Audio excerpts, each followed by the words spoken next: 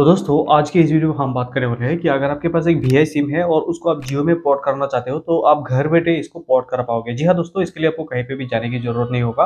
आजकल ऐसा आपको जियो ऐप पे ही करने को मिल जाता है। तो पूरा प्रोसेस दोस्तों इस वीडियो में आप लोगों को बताने वाले हैं मेरे मोबाइल की स्क्रीन में। लेके जाके आपको एक एक स्टेप दोस्तों लाइव दिखाएँगे कि कैसे आप घर बैठे वी सिम को जियो में कैसे पोर्ट करेंगे। जी। लेकिन आपका जो वी सिम है दोस्तों इसको जियो में पोर्ट कराने के लिए दो क्राइटेरिया पहले फुलफिल करने की ज़रूरत होगा। वो है जो आपका वी सिम है दोस्तों वो मिनिमम नाइन्टी डेज़ पुराना होना चाहिए। और दूसरा है दोस्तों आपका जो वी सिम है उस पर एक मिनिमम एक्टिव रिचार्ज पैन होना चाहिए ताकि आउट मैसेज सेंड हो पाए। जी हाँ दोस्तों ये दो क्राइटेरिया अगर आप फुलफिल करते हो तो आप पोर्ट कराने के लिए एलिजिबल हो। तो बाकी पूरा प्रोसेस मोबाइल की स्क्रीन में लेके जाके दिखाएँगे।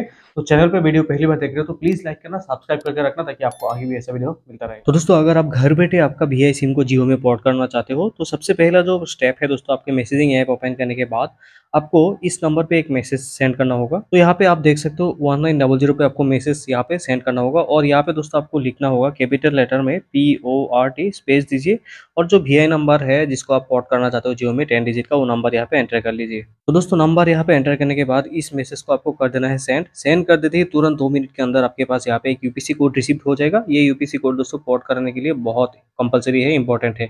इसके अलावा आपका पोर्ट प्रोसेस कंप्लीट नहीं होगा, ठीक है? तो ये कहीं पे नोट कर लीजिए या स्क्रीनशॉट मार के रख लीजिए। इसके बाद दोस्तों आपके फ़ोन में इंस्टॉल करना होगा माई जियो ऐप, अगर नहीं है तो। तो माई जियो ऐप इंस्टॉल करने के बाद दोस्तों, अगर आपके पास जियो नंबर नहीं है, फिर भी कोई नंबर से भी दोस्तों ये लॉगिन हो जाता है, लॉगिन कर लीजिए, ठीक है? तो लॉगिन करने के बाद आपको यहाँ पे दोस्तों इस तरह का एक इंटरफेस देखने को मिलेगा। देख सकते हो यहाँ पे मेनू, ये मेनू पे आपको क्लिक करना होगा। तो मेनू पे क्लिक करते हैं दोस्तों आपको थोड़ा नीचे आते ही यहाँ पे देख सकते हो एक ऑप्शन है गेट जियो सिम। ठीक है? तो देख सकते हो, अच्छे से यहाँ पे देख लीजिए गेट जियो सिम पे आपको क्लिक करना होगा। क्लिक कर देने के साथ साथ ही यहाँ पे get Jio connection. Port to Jio और न्यू सिम अगर आपको न्यू सिम चाहिए तो यहाँ पे ऑर्डर कर सकते हो, लेकिन आपको तो जो नंबर अभी पुराना वी नंबर है, उसी को जियो में कन्वर्ट कराना है, इसलिए पोर्ट पे रख के दोस्तों प्रीपेड रहेगा कंटिन्यू पे आपको क्लिक करना होगा। तो यहाँ पे क्लिक कर देने के साथ साथ ही आपका जो एरिया पिन कोड है, वो पिन कोड यहाँ पे दोस्तों डाल दीजिए। और इसके बाद आपका जो एड्रेस है दोस्तों बिल्डिंग नेम लोकेलिटी एरिया वो यहाँ पे सही तरीके से डाल दीजिए। तो यहाँ पे सही तरीके से डालने के बाद अपडेट पे दोस्तों आपको क्लिक करना होगा।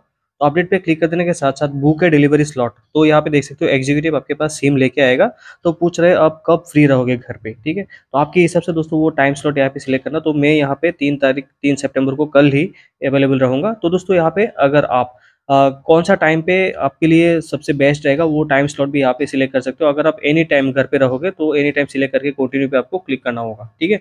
तो क्लिक कर देने के साथ साथ यहाँ पे देख सकते हो thank you for your order our executive will contact you soon mean why find your Aadhaar card voter ID password यहाँ पे बोल रहे हैं दोस्तों एग्जीक्यूटिव आने से पहले आपको कॉन्टेक्ट करेगा एड्रेस वगैरह पूछेगा। और उससे पहले दोस्तों, आपका जो आई डी वेरिफिकेशन के आधार कार्ड है वोटर आईडी है, ये सब रेडी करके रखिए, ठीक है? आने के बाद दोस्तों, आपको जो यूपीसी कोड रिसीव हुआ था, ये यूपीसी कोड उनको शो करना होगा कि भैया मेरा जो वी में उसको जियो में पोर्ट करूँगा और उसके लिए आप, मेरे पास यूपीसी कोड भी है, ठीक है? और यूपीसी कोड शो करने के साथ साथ वो आपका बायोमेट्रिक्स वेरिफिकेशन लेगा। वेरिफिकेशन सक्सेसफुली कंप्लीट होने के बाद ही आपको एक मैसेज रिसीव हो जाएगा कि आपका पोर्ट प्रोसेस कंप्लीट हो चुका है।